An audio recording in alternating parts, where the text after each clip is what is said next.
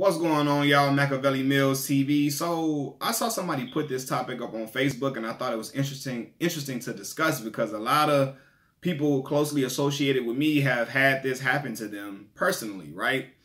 Um, the young woman put on Facebook, a lot of black men really had their first sexual experiences with pedophiles and were manipulated into thinking it was a badge of honor, right? I'm, I'm for real, man. One close friend of mine lost his virginity in a situation where his older cousins were running a train on a woman, a grown woman. She was allowing these men to take turns having sex with to take turns having sex with her. And then she allowed the young boy that was 12 years old to climb on top of her and insert his penis in her and thrust on her. Right? And I was like, wow. Like, you know what I mean? And, and, and the individuals, the cousins were sick as well. Cause I'm like, you really gonna turn your little cousin on to super, super sexual activity like this at 12 years old when we should be just outside playing basketball, just chilling, playing a video game or whatever. You got your little cousin experiencing sex with a grown woman, right? That's going to change his mind and F, F up his mind forever, forever, ever, right? Then you're a grown woman, you allowing a little boy to jump on top of you and, and engage in a sexual act with him as if it's cool. You know what I mean? As if it won't damage this boy and really, really hypersexualize him. From that point on. Um, another situation, one of my other close friends, um, I remember he told me, he told me a situation with this grown woman.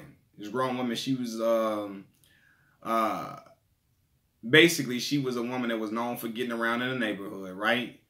His cousins, also his another situation with another person and their older cousins, were getting fellatio from this woman, right? And they told their little cousin, who was about 11 at the time, to go ahead and, and, and get some fellatio from this grown woman as well. And the grown woman engaged in the act with the 11 year old boy, right? And I'm like, what the hell is going on? Like, for real. Another one of my homies was 12 having sex with like a 17, a 17 going on 18 year old uh, young woman at that point, right? And it's like, damn, like I'm not thinking like, what was this 17 year old woman attracted to? And my boy was a, a kid. It was like he was bigger for his age, but it was visible that he was a kid, baby face and all of that. He was just tall and everything like that. And she knew he was 12 years old. She was 17 going on 18 and still had sex with this man, with this young, this boy, right? I'm like, wow, like, but see, in the hood, we are tricked into thinking that at them ages of 11 and 12, we supposed to be sexually active. We supposed to be having sex with a girl that we liking, right? By the old heads of the the the fake OGs. I call them fake OGs because they don't do nothing but send the youth off in the wrong direction, which could harm them forever, right? And I'm thinking about my homeboys and situations like my homeboy that had to was running a train uh, that was involved. He lost his virginity when his cousin was running a train on a girl, and I'm like, that shit sick as hell because. I know wasn't no condom usage involved, and I'm just thinking in my head like, wow, what if this young boy would have like my one of my homeboy would have caught a sexually transmitted disease from this grown woman because obviously she just letting people just get all up in her like that. That's wild, you know what I'm saying? And the cousins, and you know they probably went to clean as individuals at all, you know. So it's just like, damn, like what the hell at that point, right? Then I'm thinking about like eh, my other homie that lost his that uh not lost his virginity, but had fellatio performed on him. He could have caught something too, right? But even beyond that, beyond the disease, beyond all of that type of stuff, right? you hypersexualize a child and at this point they are they are engaging with other people of the opposite sex that are that are their age and they're well beyond their years in conversation they're trying to have sexual conversations with girls who are 11 and 12 years old and you're like what the hell is you trying to they trying to talk like for real and i remember my homeboys telling me when they was 12 years old and after they had them experiences they thought that this is what girls were supposed to be doing to them at that point right so they would bring certain stuff up at certain times. It's like, what the fuck? Like, and then they realize now that they were fucked up for real because they thought this is what was going to happen. Now, them girls is looking at them like, oh, hell no, what are you talking about, right? But they got messed up because they were having experiences that they weren't supposed to be having at a super, super young age. And they're just like, man, like, I, I at that point, I'm I'm trying to talk to a girl. I'm trying to get around to some sex stuff, and she is just completely like, "What are you talking about? Right? What the hell are you on?" I remember my homeboys had some of these experiences, and they would come and tell me certain stuff, and I'm looking like, "Nah, fam. What? The, I thought they was lying. Like, what the what the hell? Like, nah, bro. We still outside playing basketball, we still playing a video game and all that, which we should have been doing at those ages, which I was still doing at that age. I didn't lose my virginity till I was 17 years old, which is completely late, much later than a lot of my friends did, right? So, and, and it wasn't to no grown woman for sure. It's a woman, uh, uh, woman close to my age, you know what I mean, who eventually became uh, my my uh, daughter's mother, right? But at the same time, it's just like, what in the world? Like, what, like, you see how those, it's a, it's a domino effect. You put a child in a situation where they doing something with a, a grown woman, or a grown woman is doing something to a child, or allowing, engaging in a sexual act with a young boy, and now his sexual senses is just urging. Now he is trying to sexually thrive eh, with young girls who are supposed to be maintaining their innocence. So now the dudes in the hood, although they was encouraging uh, encouraging us, these stupid ass dudes, and, and, and the crazy cousins, the ignorant ass dudes that was encouraging us and trying to put us in situations to have sex with grown women that having sex at a young age, or the grown women trying to prey on young boys, all that stuff that was going on. Now after the dudes in the hood was encouraging it, they trying to now they getting upset because them same dudes that they were encouraging to be having sex are trying to have sex with their daughters, right? They on the phone with their daughters, these OGs, these fake OGs, they on the phone with their daughters talking about asking them what's their favorite sexual position, what they favorite, you know, um, what they like to do sexually, and we 12 years old. Now them old heads that was encouraging sexual behavior amongst the shorties in the youth, now they mad now, now they pissed.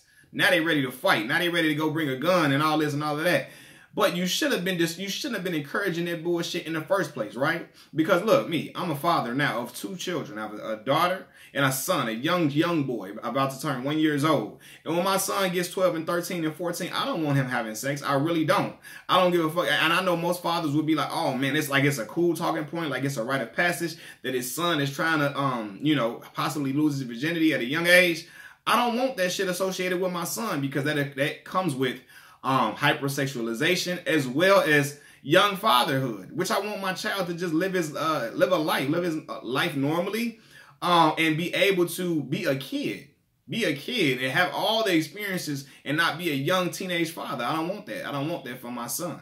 You know what I mean? I don't want him being hypersexualized to the point where he is trying to do certain things with a with a young girl that they shouldn't even be talking about. They shouldn't even be, it shouldn't even be on their mind, right? But a lot of black boys that I know were engaging in, in sexual acts with women who were pedophiles who like basically violated them violated them, took their innocence, and ever since that innocence got taken, now they're on a streak of trying to break other young girls out of their own innocence, right? Now they're not into it's not pedophile behavior with the kids because they still they're trying to engage in sexual acts with girls that, that are that are their own age, but at the same time, you're trying to basically force them into sexual not force, but you're trying to encourage sexual situations and sexual encounters when it shouldn't even been present in your mind in the first place.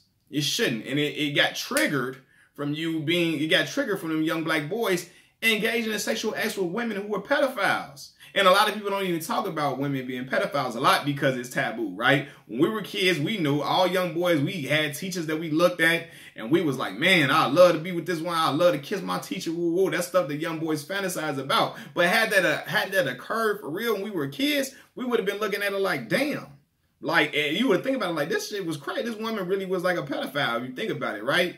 And I'm and and, and like I said, I, I'm concerned about it because at that point, like I got a young daughter, right? Even even if I didn't have a daughter, um, I got sisters. You know, I, I I got nieces and so on and so forth, right? Little cousins, and you having like them type of behaviors that when stuff like that go on, when uh a young man is turned on to sex from a woman, a pedophile, you know what I'm saying? A woman who's a pedophile, he starts trying to be, he starts becoming hypersexualized and he trying to have sex and trying to discuss sexual positions and all type of sexual talks with my little sister, with my little cousins, with my little nieces, and so on and so forth, with, with my daughter. And I'm going to definitely have a problem with that. I ain't letting that shit fly at all, right? But yeah, in the hood, when a young dude was having sex with, um, when a young dude was having sex with a grown woman, he's tricked into thinking that, oh shit, you the man. You feel me? You the man, you the man, because you was able to get this grown woman to be enamored with you sexually. But it's for real, she probably was already she just a sick person. You know what I'm saying? She just already just like why? And you ain't even we ain't thinking it because we thinking it's cool. But when we grown, you looking like damn, why this grown ass woman? Because had that been our sister, somebody doing something like that, we'd be looking at her like, why your grown ass interested in a little ass boy? Why you want a little boy? Why you? What are you attracted to about a little boy? You know what I mean? Those the type of questions we would have to ask if that was like if the woman committing these uh, acts of pedophilia was our cousins or our auntie or our sisters or whatever like that. You know what I mean? We'd be looking at her like, what the fuck is wrong with you? Right? So yeah, man, it, but it, it, happens a whole lot. Like I know so many dudes in the hood who had sexual experiences with grown, grown women. They was 15 having sex with a grown ass woman, right? You know what I'm saying? 15 having sex with a 28 year old woman that got kids and is married. Like what the fuck? And I know somebody did that. That that happened too. You know what I'm saying? I know somebody that was 15 having sex with a 28, 29 year old woman who was married. And it's like, what the fuck is going on at that point? You know, but after that, that kid becomes like, hey, look, shit, they, they got a badge of honor on their sleeve and they start feeling like, hey, I can have sex with, shoot, I can do, I, I know if I can do that, shoot. I mean, I don't see why other girls, they feel like that's the right thing that they should be doing. They should be having sex from then on, from that point on, and they feel like that's how all women operate. You know what I'm saying? Because this grown woman is having sex and she doing this stuff to me, then shoot, maybe the other girls my age should be doing it too. And they start trying to encourage the behavior. Them conversations start coming up on a frequent basis until the woman starts feeling like, and until until they get encouraged so much that the young girl she starts becoming manipulated to think, damn, maybe I should be doing this because this dude was doing this with a grown woman, and maybe that's what grown women do. And then you got a domino effect of all type of negative bullshit that occurs in the hood happen, happening over and over again, right? Young boy loses his virginity early to a woman that's a pedophile. He starts engaging in sexual acts with a girl that's 12, 13 years old that they shouldn't be engaging in in the first place. She becomes pregnant. They have a baby. The dude is too young to take, really too young to really process the, the, the right way to be a father. And he goes out and, and if he don't got no good family structure, he goes out and runs off on his responsibilities, creating a negative cycle in the hood, right? Or even worse, you know what I'm saying, the dude engaging in some type of sexual uh, encounter so so often with grown women, he starts seeking and seeking it, and these grown women could possibly have something, you know what I mean, could possibly and, and give him a sexually transmitted disease. He passing it around, all that type of bullshit. It just a whole bunch of crazy stuff that can that can occur with those situations, man. So I'm just not for the hyper hypersexualization of young children, period. You know what I mean? But I know a lot of black men who are hypersexualized from the get-go from the get-go, man. This is why I didn't agree with Boosie out here trying to give his young son, get his young son to get head from a grown woman. Know what I'm saying? Because what that what what does that encourage now? Now the young boy 15, he want head from a girl 15 too. He like she need to be doing this and do that like that grown woman was. And now you create like a, just some just all type of frenzy and some bullshit, man. I don't and I don't sign. I'm not with that. I don't sign up for it. I don't agree with it at all. Like I said before, my my son, when he's one years old, he's about to be one years old now. I do not want him having sex at 14, 15 years old. I just don't. I don't. When he does want to have sex, I want him to come to me and we can talk about it in a way to protect himself properly. But I don't want him having sex at no young age. I'm not trying to be no super, super young grandfather. I want him to live his life. I don't want him to be making all type of irrational decisions. I don't want him to be able to lead a, a regular, normal life and not be a teenage father and, and, and go off to college and so on and so forth with no issues. That's what I want for my child, man. I don't want my young boy to be hyper hypersexualized to ruin another young woman's uh, life by getting her pregnant and getting her to be turned out on all type of sexual stuff and all of that. Now the young girl a nymphomaniac, he a sex addict, all that type of stuff. I don't need that. I don't want that. I don't. I don't. That's not something that I want my child to be having or experiencing. I don't want him to encourage another young woman to be in them type of behaviors as well, man. That's just my opinion. Mackaveli Millz TV, I'm out. Peace.